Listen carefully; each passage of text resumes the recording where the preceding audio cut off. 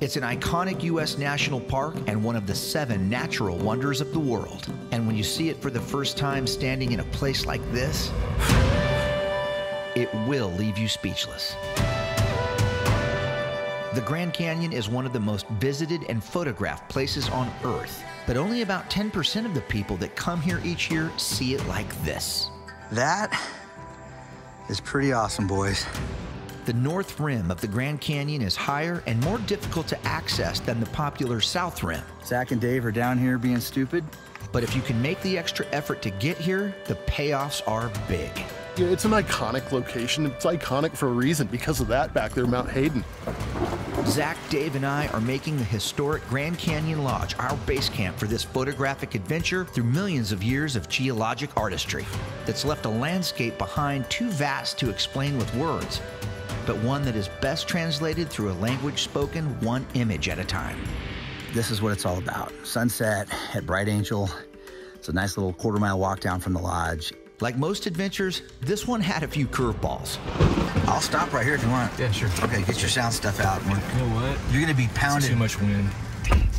And some surprises that took our attention away from the majestic views to a different kind of beauty that's usually overlooked in a place like this. Okay, Zach's pretty happy with himself right now. he just got a really cool shot of a butterfly. It's the simple things that make the outside Beyond the Lens crew happy. But as we learned, a trip to the Grand Canyon's North Rim isn't just about a world famous destination. And it looks like Zach's not sitting with us. Why is that? Oh, Zach's shooting. Zach's shooting some pictures. On this one, the journey holds its own desert beauty along the way that paints the entire picture of northern Arizona's scenic charms. Great night out here, right, guys? Yeah. Very cool. It is. Very cool. Blessed to be here. When you travel, the world becomes a smaller place. Pretty incredible stuff. When you explore with friends like mine that are outdoor cinematographers, destinations definitely come to life. Okay, that was loud. We share our love of travel with our cameras, telling the stories of Earth's most amazing places in every frame. But on every adventure, Oh, Dave. the unplanned moments are the ones we remember the most. I did bring a bag of raw chicken. Hang on, I'll be right back. Here we go, Lake Como. I'm Jeff Ayala, Go Bridge. and this is Outside Beyond the Lens. It's not always about the obvious big view behind you. Sometimes the prettiest things are right below your feet.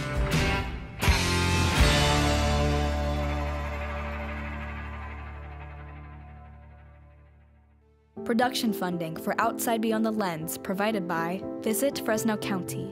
Nature, diversity, found in the heart of California's Central Valley. From Fresno and Clovis, you can drive to three nearby national parks. By Hedricks Chevrolet. Hedrick Chevrolet is proud to support the spirit of travel in each of us. Every journey has a first step. Adventures start here. By Advanced Beverage Company, serving Bakersfield and Kern County for over 50 years. From our family to yours, supporting Valley PBS and the wonders of travel. By the Penstar Group, promoting growth and opportunity in business through collaboration and partnerships for the future. By Hodges Electric, serving California's Central Valley since 1979, dedicated to supporting public television and the calling in all of us to explore. And by Visit Yosemite Madera County, California's gateway to Yosemite National Park. Explore the outdoor magic of Madera County and be inspired to discover more.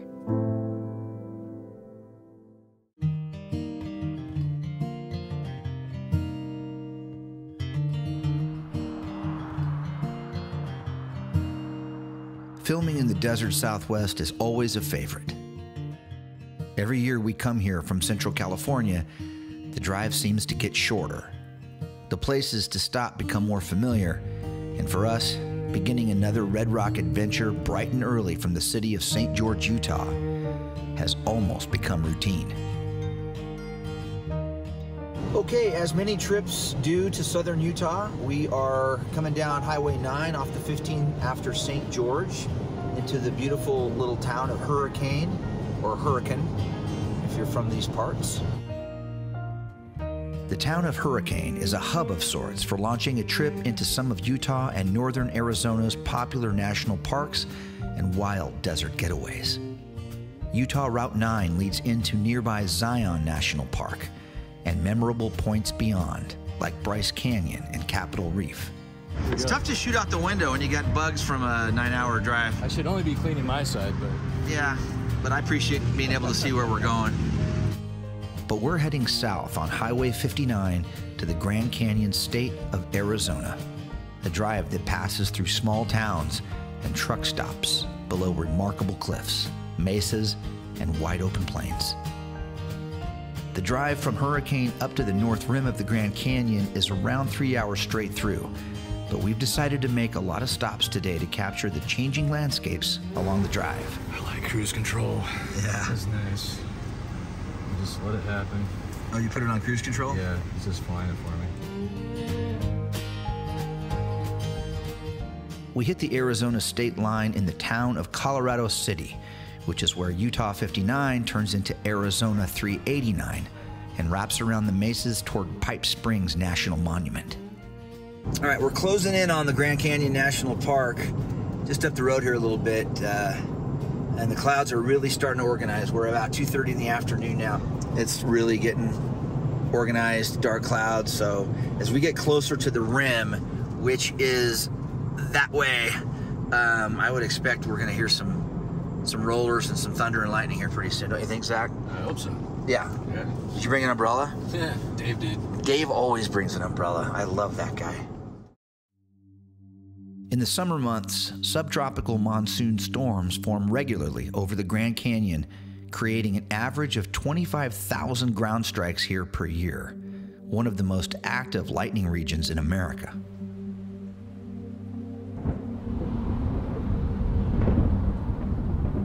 As we climb an elevation into the evergreen forests of the North Rim's Kaibab Plateau along Route 67, the desert heat rises into the moist, unstable air high above and organizes into strong storm cells.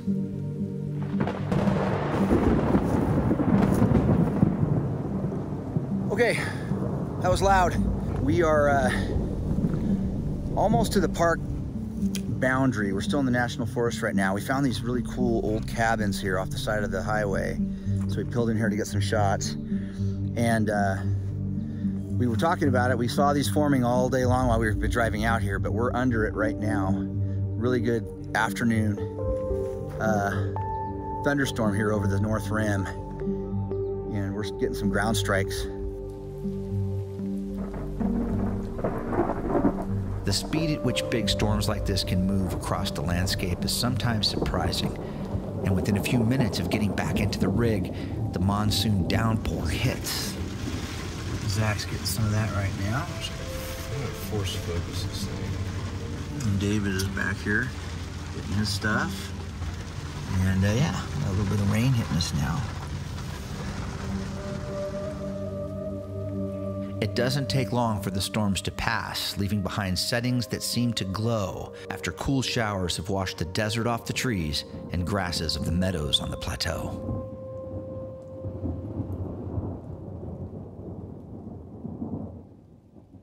There's a lot of cracking over this side, man. Woo! And it ripped right here.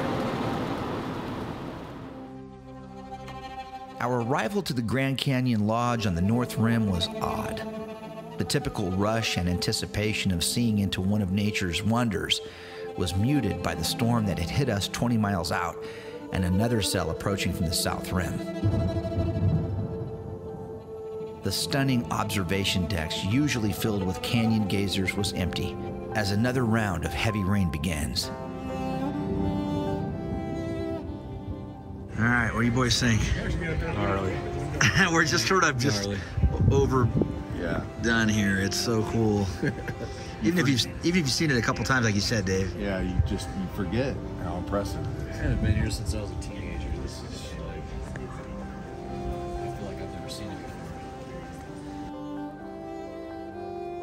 As the next storm closes in on the Grand Canyon Lodge, the observation room perched on the mile high cliffs is a safer place to witness the forces that have shaped this canyon for millions of years.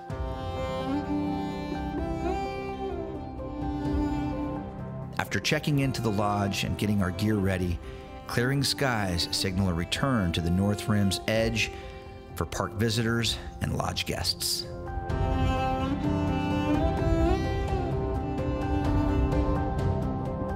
The air cleaned by heavy rains, storm mist still hanging in the canyon. The views from the Bright Angel hike just below the lodge take on the look of a watercolor painting in the pastel light.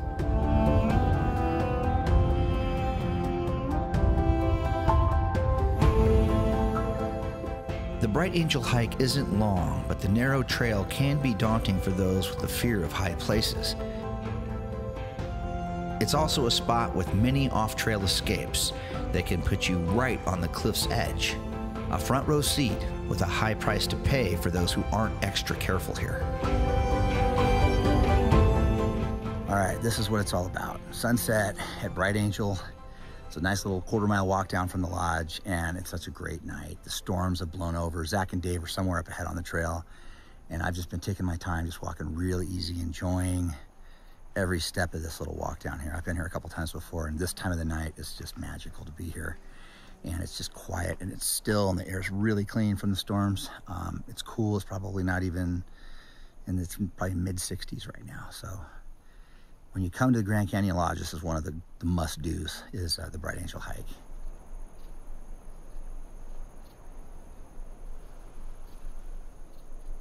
Near the trail's end at Bright Angel Point, I finally spot Zach and Dave lining up some shots for sunset over the north rim of the Grand Canyon. Now, I've been looking all over for Zach and Dave, and I got to the end of Bright, end of Bright Angel. Of course, found them in a pretty good spot. that is pretty awesome, boys. It's not as bad as it looks. Just disclaimer. So I don't get in trouble when I'm back home. That is awesome. With the sun making its slow descent to the horizon, a small crowd gathers to capture images of a desert summer sunset over one of America's top national parks. A chance to share in a special moment as light, landscape, and sky collaborate one last time for the day.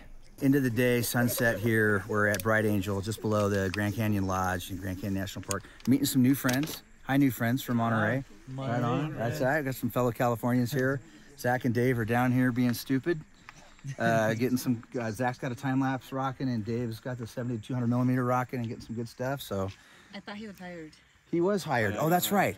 The- the- uh, what was your name? Raul. Yeah, I saw Raul earlier. In fact, I'll cut right now to a shot of Raul that he let me take of him. Cut. That's a cool shot. Raul, Raul sitting out, looking out over the abyss, and it was really awesome. And uh, I, I shared it with you via airdrop, which we can do out here, which is cool. And uh, after seeing some of Raul's handiwork, um, I did have to give Zach his pink slip. So, um, Zach, we're going to arrange travel for you back home to California tomorrow. I'm just gonna give him a little kick right now. Yeah. They Raul's going to give him a little nudge. Raul's pretty affordable.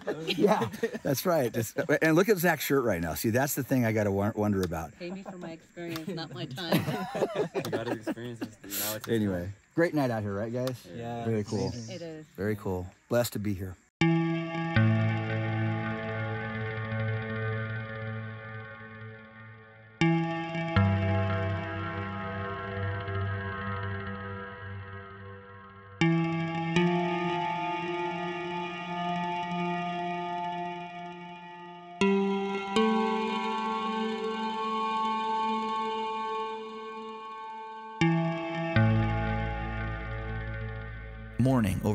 Rim begins new hope and anticipation for capturing images of life on the less traveled side of the Grand Canyon. Even though these are the same views as last night from Bright Angel, the canyon wears many faces, changing by the hour as light and shadow dance on the canyon walls. But the Grand Canyon Lodge isn't the only place to take in these postcard views on the North Rim. From here, the unforgettable Cape Royal Drive begins and winds 15 miles to the southernmost viewpoint on the Grand Canyon's northern rim.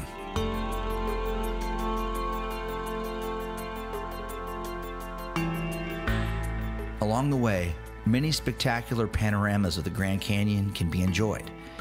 Our first stop is one of my personal favorites at Point Imperial.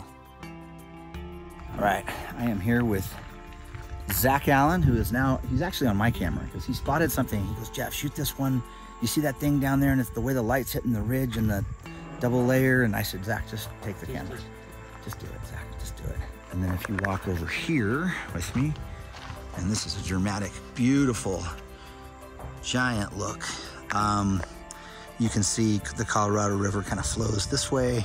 Some side canyons come into it here and here. And then the Colorado keeps on going around the backside of this feature right here.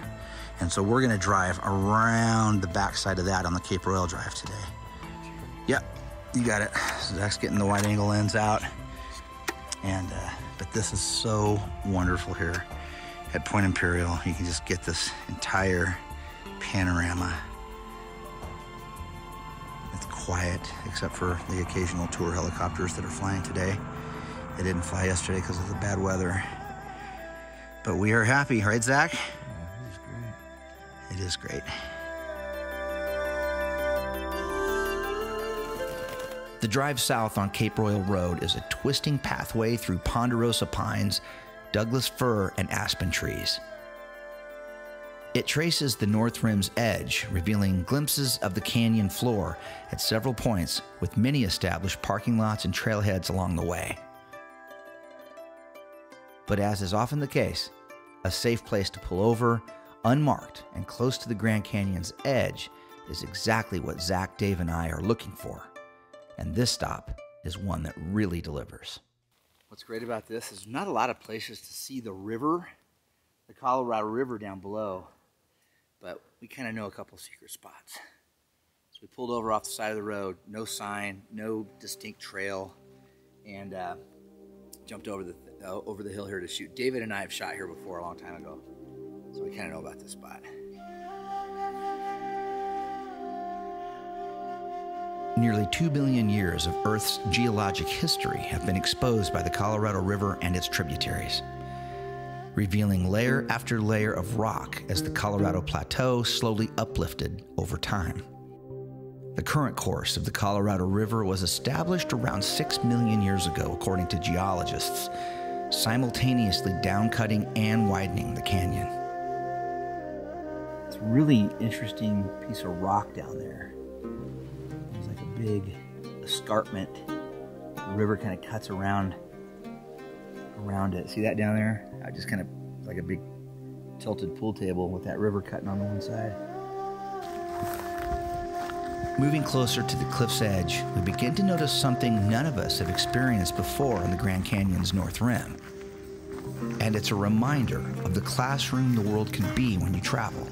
Ooh, that's a lot of down right there. Today's lesson explore beyond the obvious. When your gaze is focused on the grand panoramas Earth has to offer, be sure to appreciate the wonders at your feet. Yeah, this is really special to have this much flower bloom going on right on the rim of the Grand Canyon in late July. Thank you, awesome winter of 23.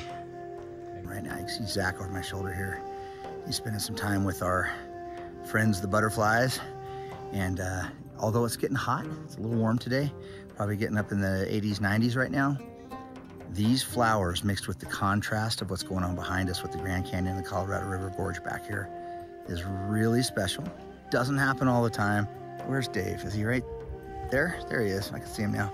He's shooting close-ups of tarantula hawks, which are a pretty gnarly looking, big black, waspy looking critter um, that take out tarantulas apparently. Um, but uh, right now they're pulling nectar off these flowers. And Zach, you like those kind of critters, those kind of flying critters, don't you? Dak says he's gonna go get stung right now. I don't have a med kit in the in the rig, just so you know. Cape Royal Road eventually terminates here at the parking lot and trailhead to Cape Royal Point and another one of our favorite North Rim destinations, Angel's Window. The short walk on a paved trail leads to one of the more heart stopping viewpoints on the North Rim, where your fear of heights will definitely be tested. But if you have the nerve to make the narrow pass to the main observation area, you will have dramatic, vertically intensive views of the Grand Canyon that really capture the scale of this geologic wonder. All right, so here I am at the end of the Angel Window little spur hike. and it's way down. But great views of the river off in the distance. Got some close-ups of that. Um, and the clouds are getting together. Thunderstorms may or may not come to happen here pretty soon. I'm watching off in the distance, but if you have a chance on the North Rim, this is another uh, another one of the uh, star attractions for sure. Afternoon light and gathering storm clouds paint a surreal picture over Cape Royal Point at the end of today's adventure. Another mesmerizing Zach Allen time lapse captures the dance between desert rock, sky, and sun. And while the views of the Grand Canyon from the North Rim are awe inspiring most hours of the day, sunrise over this promised land for landscape photographers can be an event long remembered and forever captured in camera. All right, uh, in the uh, hotel room here at the Grand Canyon Lodge, 4.30 in the morning, our last day here. Gonna grab cameras here. Zach is already uh, on his way to the truck. And Dave is apparently coming too. David's lights on. Dave, you coming? Yeah. Right on. Boomer's coming. All right, this is good. Copy that. I'm, I'm heading up right now to the truck. Okay. Oh, it's dark. Turn your light on. Where, where's, where's David? He's coming. He's coming.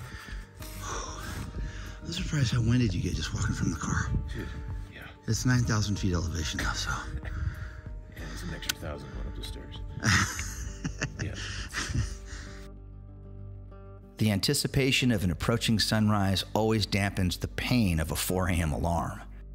The Cape Royal Road is quiet this morning as we head back to Point Imperial for the start of a new day. Mother Nature has gifted us with not only a beautiful, you know, day lining up, but for sunrise, we got these high cirrus clouds that are already started catching some of the light of the sun coming up. But that's going to really kick our sunrise shots off. Modern technology and smartphone apps tell us the exact time the sun will rise at this location. And even though we have about 15 minutes to set up, there's always nervous energy getting into the right spot.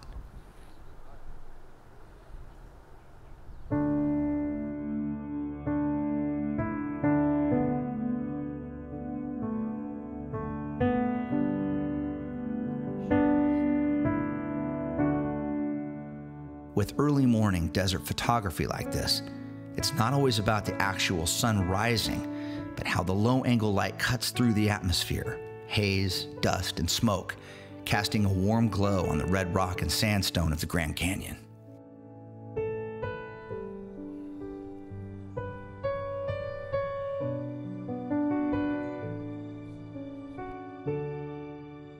We're not the only ones here at Point Imperial this morning.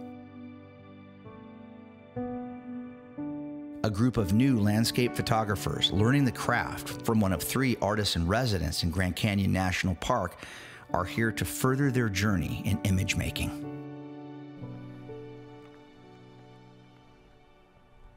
You're here with clients this morning. Right. That must mean this is one of your favorite places to grab a sunrise. It is, it is. This is their first morning out on our multi-day workshop. And you know, it's an iconic location. It's iconic for a reason because of that back there, Mount Hayden. You know, especially in the morning, catching light on its east face. Yeah, you know, I want to give them that opportunity to shoot some of the iconic locations. Uh, we get out and we visit a lot of other places that people don't see in the magazines and everything. How is it as a guide and an instructor to see the work that you're, the, the folks that come to you do as they grow as photographers? That's Oh, got to yeah. be really satisfying. I love working with others and sharing my passion for the place, but also my passion for the art of photography. And getting to see people uh, grow or evolve, mature as photographers, and seeing the work they create, that is inspirational. You know, one of my clients here is placed in photo contest with some of the images he made. And again, they were his images that I got him there and gave him some guidance. But we've, I've seen him grow a lot, and uh, he's just becoming a really great photographer, and that just does a lot for me. Thanks, you guys. Yeah, thanks for letting us barge in on you. You're such a jerk. I know. Put that on film. Blooper He reel, was a blooper nice reel. guy. He was a nice guy. Focus on me. The hell with him.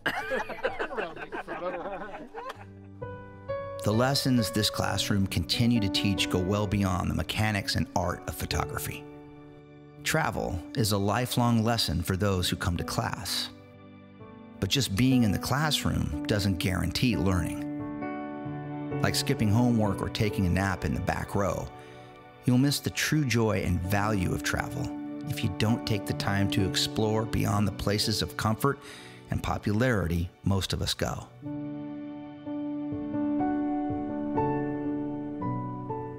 The north rim of the Grand Canyon is here for those ready to learn.